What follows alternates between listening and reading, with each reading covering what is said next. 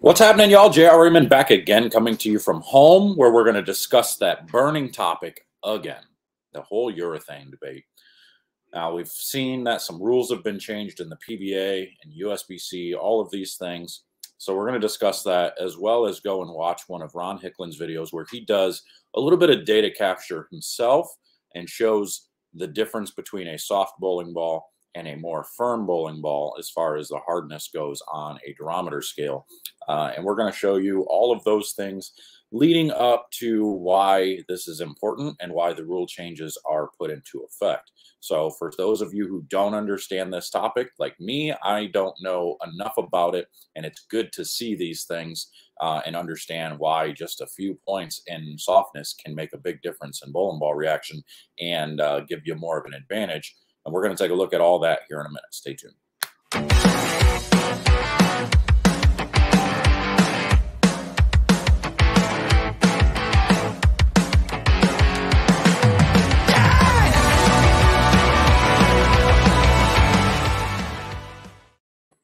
All right, so I've got Ron's video pulled up here, and what he did was he actually um, brought somebody in who used to work with Ebonite International and did all the testing uh, for the hardness and all that good stuff. And as you can see here on the screen, they tested a bunch of different bowling balls, and a bunch of them actually do come up well too way too soft.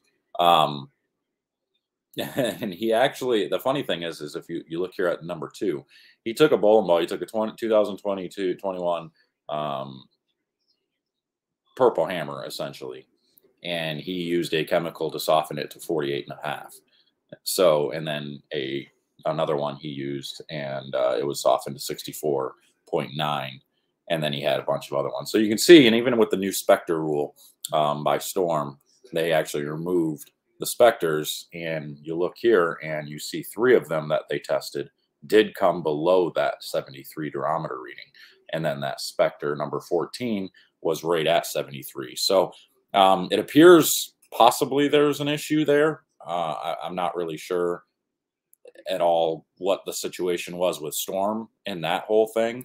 But now, as you know, that new Storm Spectre is uh, decertified and we can no longer use that in competition anywhere. So uh, kind of sucks. I know that was a ball that was being used quite a bit on tour. Some of those guys were using it out there.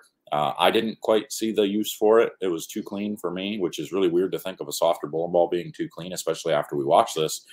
But as you watch this, you'll notice that he's going through and he's testing a bunch of these, like and they test it about 50 years. So he's very, very meticulous about how he does it, it and where he does it. In addition to what you're seeing here, one of the notes that's that needs to be made is that the durometer that we're using is much different than what you would typically find if you were to go buy one on Amazon see that that uh, silver weight at the top?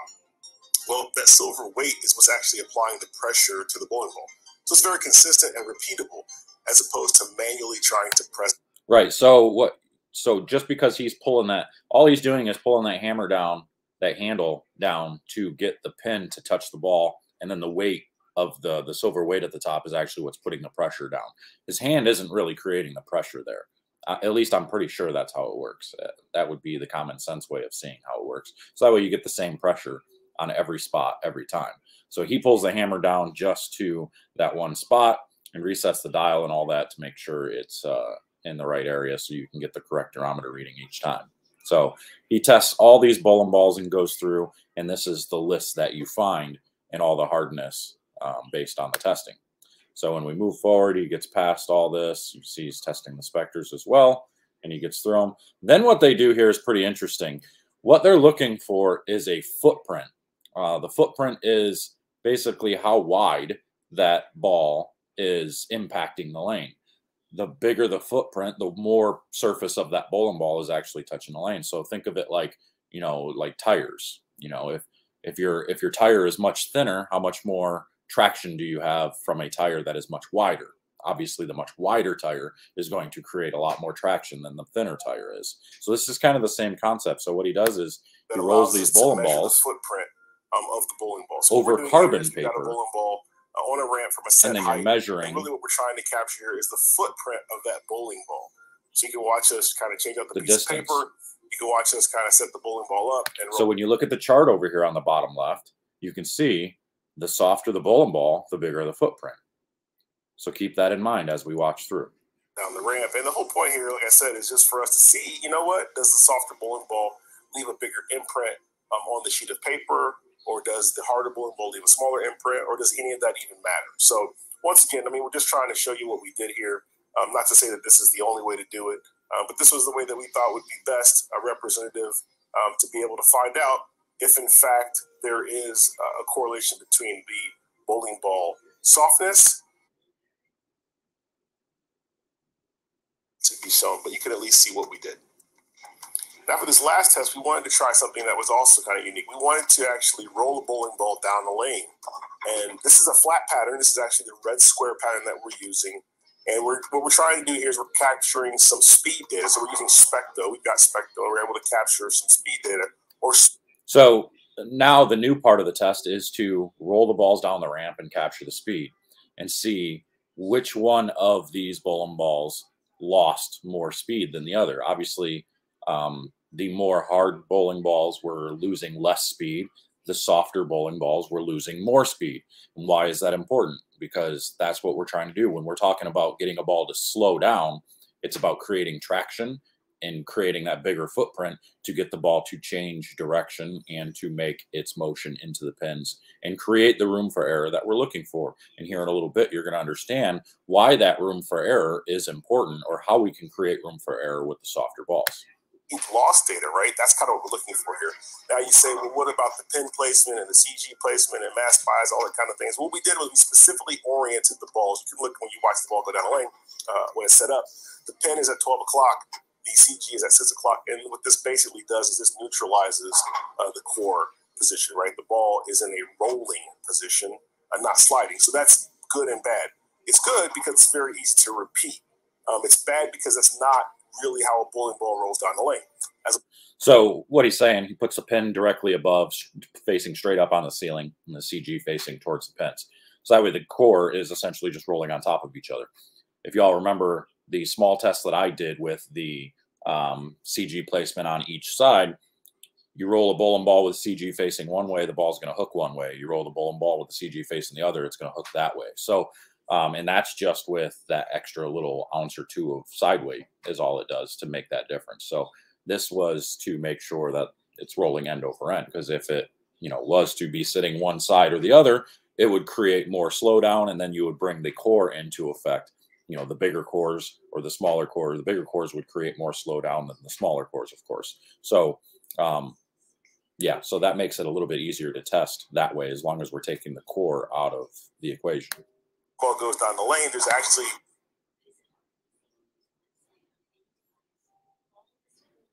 All right, so now when uh, we throw the ball, some of the data that we are going to show you. And before we so, before we even show this, keep in mind, being perfectly accurate in this test isn't what's important. What you want to pay attention to are the bowling balls and the shapes that they're making. You know, the the amount of hook you're getting from one versus another. Now you watch these harder durometer bowling balls go down the lane, you can see a big difference in ball motion versus the softer durometers. It was actually bowling. And this was kind of where the aha moment kind of happened, where we really began to understand the benefit of hardness. So remember, we're bowling on a completely flat pattern. So if I throw it to the left, that ball's not supposed to recover at all.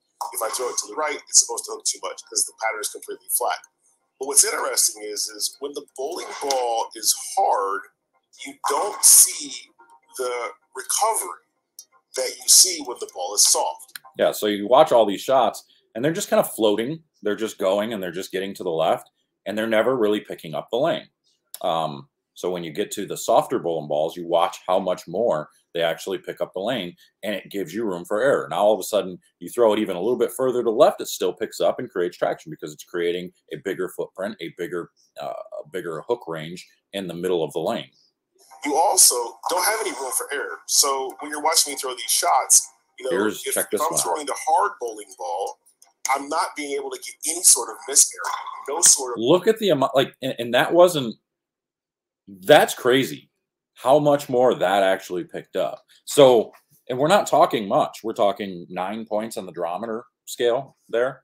Nine points made that ball hook that much more. Will two or three points make a difference? I mean, if nine is making that much of a difference, you've got to imagine that even two or three points is going to make a difference as well. So that's where the discussion comes into play. Room for error, no sort. If I throw it a little harder, it just over pushes. But that kind of all smooths out. Yeah, that, gets to the gutter. The Still gets to the pocket. And that is kind of what led us to begin to understand the value of the softer ball. So look at it this way. The pattern is a flat pattern and it's cliff, meaning there's oil to a certain spot and then it shuts off and that's the end of it. But what happens is when you're throwing your ball down the lane on that kind of pattern, if you're throwing the ball and you throw it a little harder, it's going to over push, and that's just what happens. But if you have a softer bowling ball, the beautiful thing about that is you can actually watch the ball slow down. And our data would indicate that the softer bowling balls do slow down. In fact, it was a mile an hour slower. So let's look at uh, this. So the softer bowling balls you know, all pretty much right at the same speed between 18.8 and 19.4 within a half mile an hour. I mean, you're you're talking, and actually, the softer bowling ball, most of his shots came off his hand faster than the harder bowling ball. The harder bowling ball came off his hand a little bit slower, and yet the, the softer bowling ball still slowed down quite a bit more. Look at the speed losses here over five miles an hour in speed loss versus the three, 3.8, 4, 3.8, you know, so I mean, it's kind of crazy to look at how much that softer bowling ball slows down compared to the more firm, harder bowling ball. Than from the harder bowling ball. Well, that slowing down allows the bowling ball to begin to generate friction a little faster than typical. So and, it's, and because it's slowing down faster and it's softer with that wider footprint, it can actually begin to generate friction earlier, which makes the pattern play like it's tapered. It's not tapered, but it plays like it's tapered. And you say, well, why does that matter? Well, on a house shot, the lane pattern tends to be tapered, meaning that there's more oil in the front. And as you go down the lane, it begins to, the, the volume of the oil begins to get less and less and less. And that's tapering the pattern. What that does is that creates miss room for when you're the bowler. It allows you to be able to miss and still be able to get back to the pocket. Well, on a PBA pattern, on a sport pattern, on a flat pattern, you don't have that. And that's why that's one reason they're so much harder. But as you're watching me throw these shots, you can see I can miss and the ball recovers. That's because we are taking a pattern that is flat and making it play like it's not flat. And that is very, very advantageous. Now, some of the other differences are, you know, uh, my rev rate is only 350 RPMs. Most pros are 500 RPMs or higher. Look at that. So they're going to be able to get this effect out of bowling balls that are harder than the 64.9 durometer bowling ball that I threw. So, so what he's saying is basically the higher your rev rate, the more surface area you can create out of a bowling ball. So the more of a footprint you can actually create um, because you're creating more traction, you're creating more friction, all of that stuff. Now I know a lot of people are going to say, well, if that's the case, why don't we just why don't ever why doesn't everybody just use 500 grit bowling balls?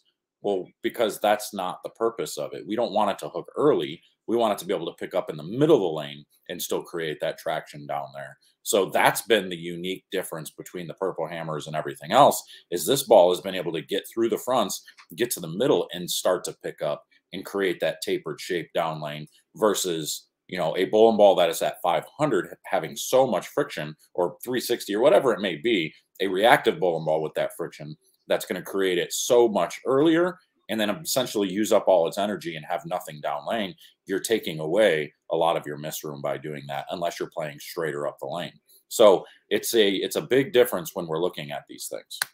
Makes sense that a pro bowling on a flat pattern would be able to see more of this this tapering effect from the bowling ball and be able to take advantage of it, right?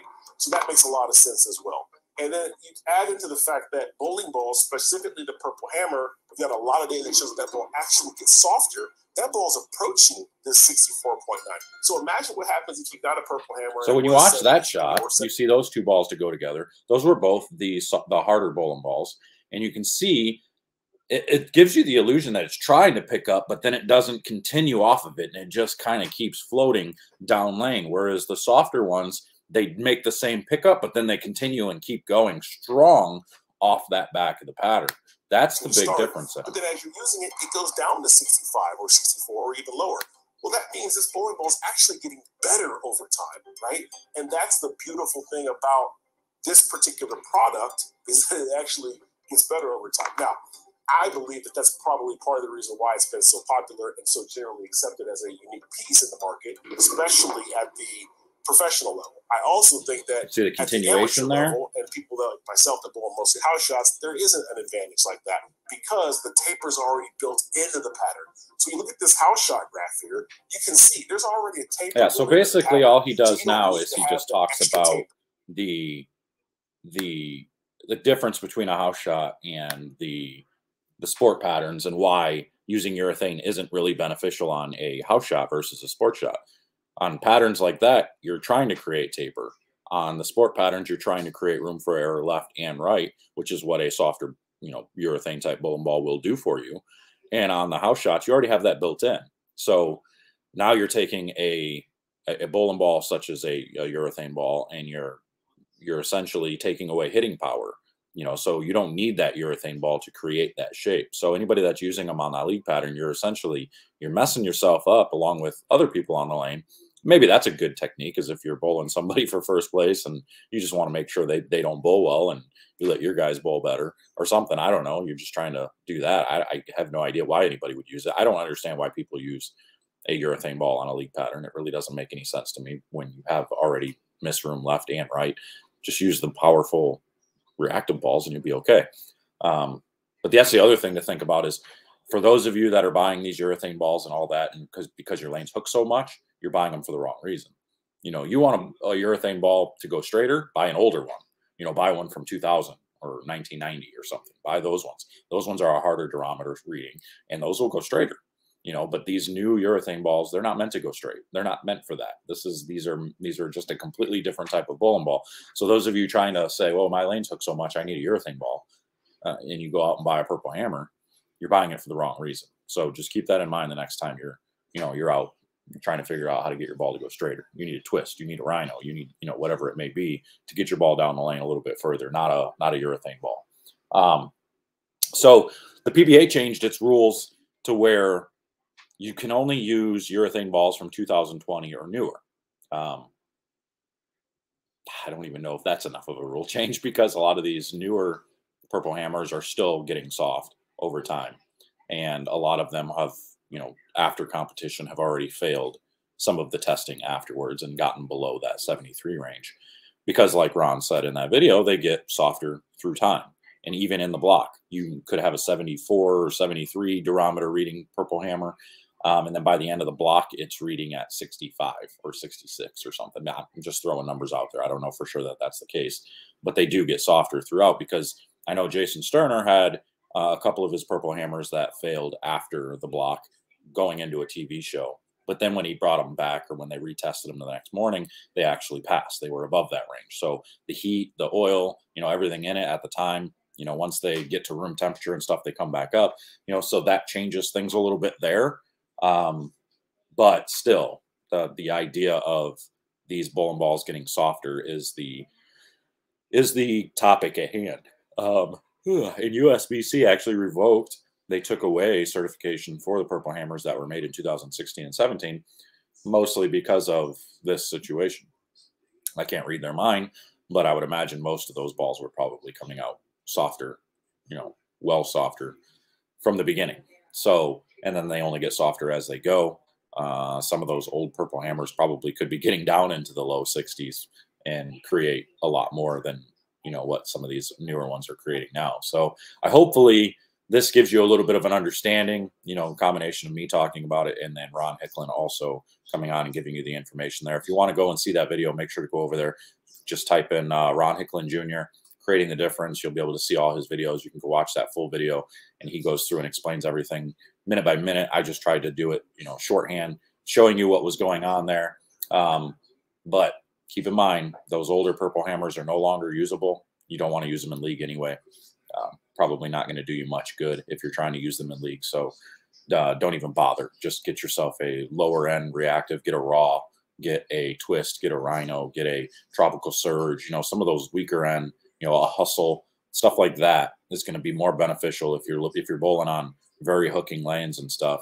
Those weaker reactive balls are going to be better for you than a big, you know, giant urethane ball like that. So keep that in mind. I'm going to get out of here. I just wanted to talk about this real quick before uh, leading into the Masters, so you guys have this to watch a little bit. Yes, I'm going to have purple hammers with me out there. Actually, I have a purple hammer. I have a pink widow out there, and uh, I have my uh, uh, double cross out there as well. So you know, you never know when you're going to need those urethanes. So I sent those out there. They're ready to rock while I, when I get out there, um, just in case. But I'm taking a bunch of different bowling balls. I might make a video about some of the new bowling balls that I'm taking. I know I'm taking the speed and the defender. Those two for sure are going out with me. And I've got my 3D offsets out there. Um, you know, my Zen, my dark code, all that stuff's going to go with me. I never know when I'm going to need it for the burn. So who knows what's going to happen, but uh, I'm out of here. And uh, until next time, hey, make sure to subscribe, like, comment, do all that. Let me know what you think of these new PBA rules and USBC rules. When do you ever use the purple hammer? You know, make sure to hit that join button. Join so you can be a part of that new giveaway that I've got. I'm giving away a bowling ball for the Masters. So winner of the drawing will win a bowling ball. So click that link in the description and go win yourself a bowling ball. So until next time, guys, I'm out of here. And we'll see you guys later. Take care.